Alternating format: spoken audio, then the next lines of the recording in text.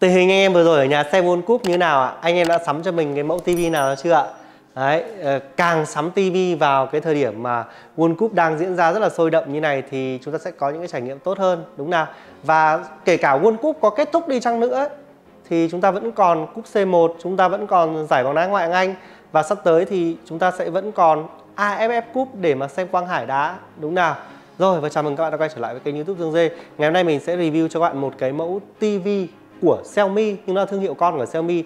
Đấy là thương hiệu Redmi. Cái mẫu TV này nó sẽ có tên đó là Redmi X65 2022 thế thì cái dòng 65 inch này nó có những cái ưu điểm là gì thì mình cũng sẽ nói luôn. Đầu tiên là với kích thước màn hình là 65 inch thì mình thấy là nó tương đối là đủ ở trong một cái phòng khách có diện tích tầm khoảng ờ, 40 50 mét vuông. Thực ra là diện tích phòng khách nhà mình là 70 mét vuông nhưng mà mình vẫn dùng uh, TV 65 inch bởi vì là cái ghế sofa nhà mình nó cũng khá là gần với cả cái TV này. Cái ưu điểm thứ hai của cái mẫu TV này đó là nó có màn hình 4K. Ưu điểm thứ ba đó là nó có màn hình tần số quét là 120 Hz, có Dolby Vision, có công nghệ âm thanh Dolby Atmos, có bù chuyển động MEMC và nó có cả FreeSync nữa. Ừ. Rất nhiều các cái công nghệ ở đây. Đấy, thì thực sự là đây sẽ là một trong những sự lựa chọn rất là đáng để chúng ta cân nhắc rồi. Và tất nhiên rồi, TV này thì nó có Android TV nhé các bạn nhé. Nếu mà nhắc tới những tính năng như thế thì chắc là chúng ta sẽ phải nghĩ là ồ, TV này chắc phải mấy chục triệu, đúng nào? Nhưng thực chất là cái TV này nó chỉ có 14 triệu rưỡi tại TV Xiaomi Hà Nội mà thôi và thậm chí vẫn thừa 10.000 để cho chúng ta đi ăn xôi. Rồi bây giờ thì mình sẽ nói về từng phần của mẫu TV này. Đầu tiên chúng ta sẽ nói về thiết kế viền màn hình rất mỏng, chất liệu kim loại luôn. Đấy không có điểm gì phải lăn tăn cái thiết kế này thì vẫn là cái form thiết kế chung của Xiaomi thôi. Đấy rồi là kể cả những cái phần chân đế cái thứ như này này. Và thực ra là form chung của các cái TV bây giờ cũng chẳng phải là của Xiaomi đâu. TV thì nó cũng chỉ có mỗi cái form thiết kế như này. Chứ theo các bạn thì TV nó còn hình gì nữa? Chả lẽ TV lại đục thêm cái tai thỏ hay là đục ờ, lỗ viên thuốc hay là đục lỗ, nốt ruồi hay là như nào? Đúng nào. Form thiết kế thì không điểm gì phải quá đáng lo ngại cả. Viền màn hình cái thứ là rất là mỏng luôn rồi, chúng ta sẽ nói tiếp về phần màn hình mới là cái mà mình cần phải nói tới này. Là đối với cả một cái tivi có kích thước màn hình lớn lên tới là 65 inch mà độ phân giải là 4K thì nhìn nó có dỗ hay không? Thì câu trả lời đó là nếu nhìn gần thì nó sẽ dỗ. Đấy, tuy nhiên là với cái tivi 65 inch này thì chả ai ngồi kiểu như là ngồi gần như mình là như này để dí sát mắt vào đây mà nhìn cả. Chúng ta sẽ ngồi với khoảng cách tương đối xa, đúng không ạ? Với cái khoảng cách đó thì mình thấy là nhìn hoàn toàn bình thường, chả có điều gì phải dỗ cả với cái màn hình tần số quét là 120Hz này thì nó sẽ giúp cho chúng ta xem TV nó sẽ rất là mượt mà. Đặc biệt là với cái công nghệ bù chuyển động MEMC ấy, thì khi các bạn xem ờ, bóng đá đặc biệt là các cái đường truyền ấy quả bóng nó bé mà các cái đường truyền thế chúng ta sẽ nhìn thấy quả bóng nó mượt hơn chắc chắn. Đặc biệt nữa là những bạn nào mà xem các cái ờ, giải đua F1 này hay thậm chí là xem quần vợt ấy, thì chúng ta sẽ xem là nó sẽ thấy rất là mượt mà và đó là cái điểm mà chúng ta cảm thấy thích. Hay thậm chí nếu chúng ta kết nối với cả các thiết bị ngoại vi ở bên ngoài để uh, chúng ta có thể chơi game cái thứ này thì chúng ta cũng cảm thấy là cái tivi này nó hiển thị khá là mượt mà. Thì uh, cái ưu điểm của màn hình LCD ở đây là gì? Đấy là màu sắc rất là chân thực và góc nhìn thì cực kỳ tốt. Tuy nhiên cái nhược điểm của màn hình này mình sẽ chỉ ra thứ nhất đấy là cái màn hình này thì nó là màn hình gương nên là thành ra là uh, nếu mà ở trong nhà của bạn mà nó có quá nhiều ánh đèn ví dụ như là đèn theo kiểu là dạng đèn ống ấy thì uh, đôi khi nó sẽ bị lốp ở trên trên này nghĩa là nó sẽ in hình những bóng đèn đó ở trên tivi đấy là cái thứ nhất. Cái thứ hai nữa đó là với cái màn hình LCD thì cái độ tương phản nó sẽ không cao như là màn hình OLED bởi vì bây giờ nhà mình đang sử dụng một cái tivi màn hình OLED mình biết mà. Và cái thứ ba nữa đó là cái độ sáng của nó sẽ không cao bằng màn hình OLED tuy nhiên là đối với cả uh, bản thân mình thì hầu như mình để tivi ở bên trong nhà và chưa có cái tivi nào mình mua mà mình lại để ở ngoài ban công hay là để ngoài trời cả để mình xem, mình chỉ để ở trong nhà mà thôi. Thì với cái độ sáng của nó này là quá đủ đối với mình. Khi mà mình xem vào vào ban đêm, thậm chí là mình xem các cái trận bóng vào tầm khoảng 2 giờ sáng là mình phải giảm độ sáng màn hình xuống để cho nó đỡ bị chói mắt. Còn xem tivi bình thường hàng ngày thì quá thoải mái luôn. Chưa bao giờ mình thấy một cái tivi nào của Xiaomi mà lại kiểu như là xem ở bên trong phòng mà lại cảm thấy tối cả. Chưa bao giờ. Chẳng qua là độ sáng và độ tương phản của nó không bằng màn hình OLED thôi. Chứ còn sử dụng thực tế ở ngoài thì chúng ta vẫn cảm thấy là nó rất là tốt về phần hiệu năng thì thôi, không cần phải bàn tới nữa nhé với những TV này thì thực sự là siêu mượt rồi. RAM 3 bộ như trong 32 cơ mà. Chúng ta có thể download được rất nhiều các cái ứng dụng các thứ ở đây. Với việc là có Android TV thì thực sự là chúng ta có thể làm bất kỳ cái điều gì chúng ta thích ở trên kho ứng dụng của Google. Ví dụ như bây giờ Smart TV hay là WebOS thậm chí là có những ứng dụng mà chúng ta không thể download được. Ví dụ như WebOS chẳng hạn, chúng ta không thể download được VTV Go chẳng hạn.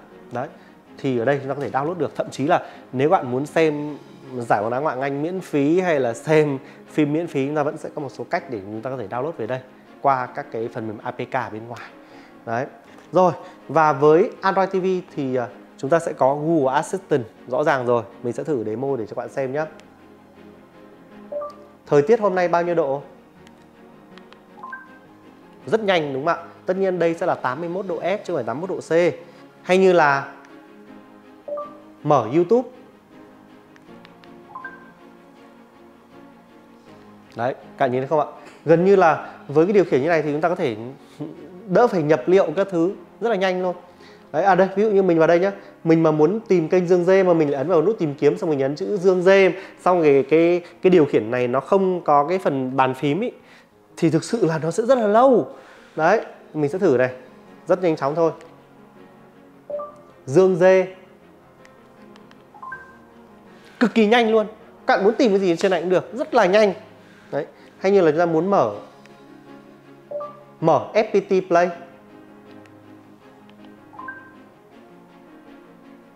Cực nhanh luôn các bạn ạ. Tốc độ mạng cũng thế rất là nhanh. Đó wifi 5G cơ mà. Rồi tuy nhiên là cái trợ lý ảo Google Assistant này thì nó lại không nói ra ra ra ra, ra loa. Ví dụ như là nó nói là nhiệt độ của Hà Nội bây giờ đang là 81 độ F cái thứ hạn thì nó sẽ nói ra loa. Đấy nhưng mà cái này thì, thì nó sẽ không nói. Đấy thì đấy cũng là một cái nhược điểm. Tiếp tục nữa là chúng ta sẽ nói về các yếu tố khác thì sao?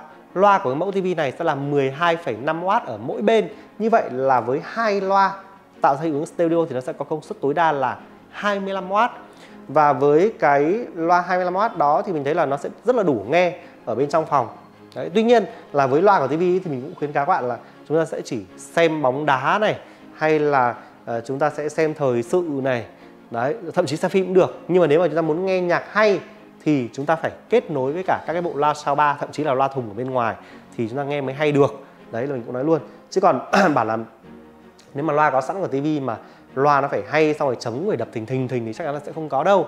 Nhưng được cái là cái tivi này thì nó có sẽ có công nghệ âm thanh Dolby Atmos. Nó sẽ giúp cho uh, chúng ta khi mà kết nối với cả các thiết bị ở bên ngoài kiểu như Saba hay loa thùng nó sẽ cho một chất lượng âm thanh nó tốt, tốt hơn. Và tất nhiên rồi ngoài công nghệ âm thanh Dolby Atmos ra thì như ở đầu video mình đã nói cái màn hình của nó còn có cả công nghệ Dolby Vision nữa cơ. Về các yếu tố khác thì sao? Cái mẫu TV này của chúng ta hiện tại là nó đã có tiếng Việt ở bên ngoài màn hình chính nhưng mà cái Việt hóa của nó chưa hoàn toàn ở cái chỗ là khi mình vào trong phần cài đặt này thì nó sẽ vẫn là tiếng Anh nhé các bạn nhé. Đấy nó vẫn là tiếng Anh thôi. Đấy nó chưa được Việt hóa hoàn toàn. Và nếu mà và mình vào trong cái phần General Setting này đấy mình à, bật cái à, màn hình chờ lên. Đây, để cho bạn xem luôn. Thì nó sẽ bị lệch khoảng một tiếng đồng hồ so với cả giờ Việt Nam. Ở đây đang để giờ Trung Quốc này, bạn nhìn thấy không? Ví dụ bây giờ giờ Việt Nam là 12 giờ 35 đây như cái đồng hồ mình đang đeo này. Thì ở đây nó sẽ ghi là 1 giờ 35 chiều. Đấy, còn khi nó thoát ra màn, ngoài màn hình chính như này thì nó sẽ hiển thị luôn ở góc trên kia là 12 giờ 35 nghĩa là giờ ngoài màn hình chính sẽ là giờ đúng theo giờ Việt Nam luôn. Nhưng mà giờ ở màn hình chờ thì nó sẽ không đúng. Nhưng mà thực ra là mình không để màn hình chờ nên mình cũng không có quan trọng điều này.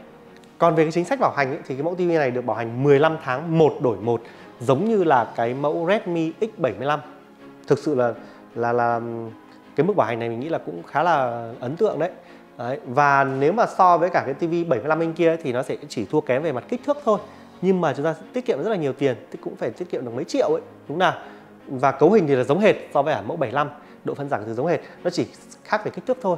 Đấy. Và với cái kích thước bé hơn ấy thì nó sẽ tiêu thụ điện nó ít hơn. Khoảng gần 5 tiếng đồng hồ thì nó mới hết một số điện cơ.